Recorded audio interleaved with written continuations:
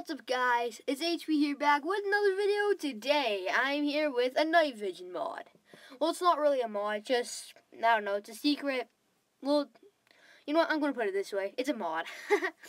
so, I actually already have it installed. I can show you. So, maybe this is nighttime or something.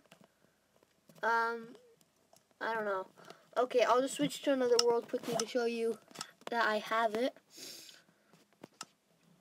See? This one's nighttime and look how bright it is out here. It's pretty cool. So yes, I'm doing redstone alternatives on this world, but that's not important. Yeah, see, it's messed up. So I'll be showing you how to do this.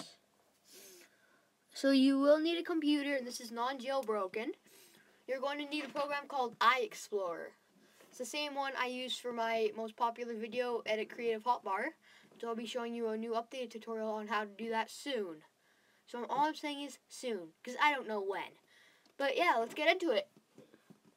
So I will be switching my computer. So if it doesn't work for me, ask me below, and I'll reply.